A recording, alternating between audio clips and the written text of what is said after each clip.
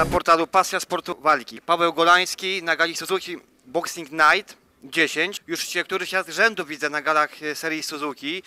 E, Więc skąd taka pasja do sportu walki? Witaj w ogóle Paweł swoją drogą. E, Witam, cześć. E, No rzeczywiście, pasja, pasja już było to, to do wielu lat, natomiast przełożyło się na takie oglądanie na żywo od, od momentu, kiedy poznaliśmy się z, z prezesem Suzuki Polska Piotrem Dulnikiem i, i, i razem współpracujemy też w Koronie Kielce.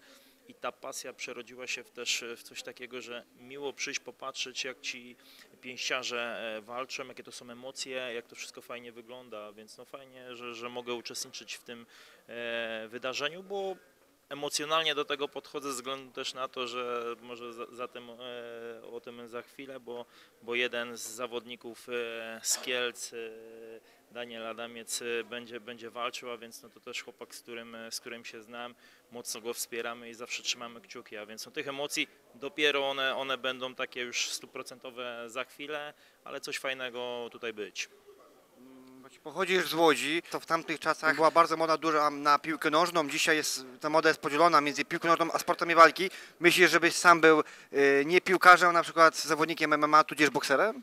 Znaczy przede, przede wszystkim pochodzę z takiej dzielnicy, że rzeczywiście dużo, dużo chłopaków e, wybrały różne ścieżki swojego rozwoju. Ja, ja trafiłem na piłkę nożną i niezwykle się z tego cieszę. Natomiast e, jedno, co mogę powiedzieć o sportach e, walki, to wszyscy zawodnicy, nieważne czy to są pięściarze, czy, czy inni, inni sportowcy, oni zostawiają mnóstwo charakteru i zdrowia na, na, na ringach, bo, bo to jest coś niesamowitego. Technika to jest jedno, przygotowanie taktyczne to jest drugie, natomiast ja mam wrażenie, że właśnie w tych e, sportach ten charakter jest e, kluczem, jest kluczem do tego, żeby wyjść, poradzić sobie z tym, że naprzeciwko ciebie stoi jeden człowiek, który będzie chciał ci odebrać zwycięstwo. W sportach drużynowych, tak jak jest w piłce nożnej oczywiście, jednostki są bardzo ważne, natomiast e, tutaj jest pomoc kolegów, a więc ten team jest, jest, jest kluczem. Tu jest zupełnie co innego, natomiast dlatego, dlatego mi się to niezwykle podoba. Nawet tutaj e, będąc e, dzisiaj, rozmawiając e, z pięściarzami, no niezwykle jest to dla mnie cenne doświadczenie, kiedy widzę jak oni do tego podchodzą, jak są skoncentrowani, z jakim nastawieniem wychodzą na ring. W związku z tym nie uważasz, że piłkarze w porównaniu do innych sportów, już nie mówiąc o pięściarstwie, o boksie, zarabiają za dużo. I tutaj nie mówię w kategoriach ogólno, y, tylko w ogóle w kategoriach globalnych, światowych. Tak szczerze, tak szczerze. A czy, d- czy zarabiają? Oczywiście, czy zarabiają dużo? No rzeczywiście tak poszedł świat, że e, piłka nożna jest najbardziej popularnym sportem. E, e, myślę, że na świecie, tak globalnie patrząc, oczywiście są kraje, gdzie inne sporty są e, wiodące, natomiast e, futbol, futbol jest e, w czołówce. Jeżeli chodzi o pięściarzy, tak jak dzisiaj widzimy nawet zawodników, którzy tutaj e, walczą, no to oni są e, na pewno zdecydowanie mniej wynagradzani niż e, piłkarze nawet w tych niższych ligach, a więc no to jest ten podwójny szacunek, którym ja darzę, bo ja ich traktuję jako sportowców, sportowców, którzy robią to z pasją i zaangażowaniem.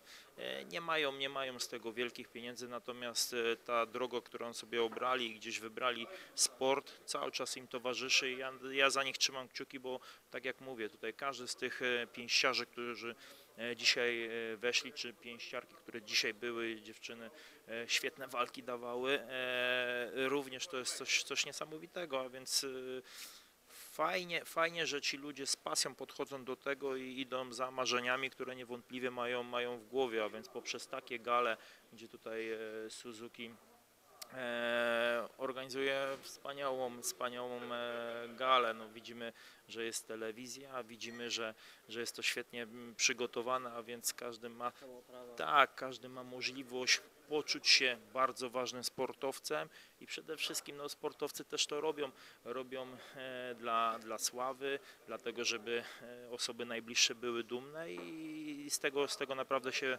e, myślę, że oni cieszą, a tak jak my, kibice, przychodzimy i, i, i podziwiamy ich, ich walki.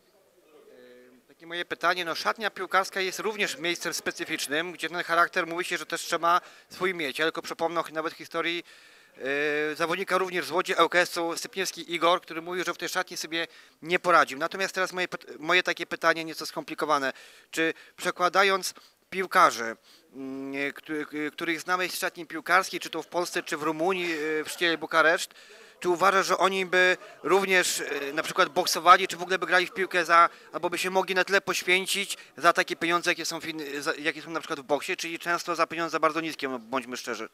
Ciężko powiedzieć. Na pewno jest, na pewno jest mnóstwo, na pewno jest mnóstwo piłkarzy, którzy mają, mają e, naprawdę e, mocny charakter i sobie z tym e, wszystkim radzą. Oczywiście od strony piłki nożnej, ja też byłem piłkarzem, niewątpliwie kochałem grać w piłkę, czy kocham grać w piłkę, za to mi też dobrze płacili. To jest też dla sportowca bardzo ważne. Tutaj, jeżeli chodzi o pięściarzy na takim poziomie, poziomie olimpijskim, pomimo tego, że tak jak e, powiedziałem przed chwilą, ta organizacja, cała ta otoczka dzięki Suzuki e, poszła zdecydowanie do góry, to gdzieś, to gdzieś no mają z tyłu głowy, że, że te zarobki nie są takie, może na jakie, na jakie by liczyli. Natomiast przez tą ciężką walkę mogą, e, mogą do tego doprowadzić. Ale jakby wracając e, do, do Twojego e, pytania, myślę, że wielu piłkarzy, e, wielu sportowców, bo to nie tylko piłkarze, ale sportowcy, którzy są e, w, gdzieś w drużynach, w drużynach e, czy piłki ręcznej, czy siatkówki, czy koszykówki,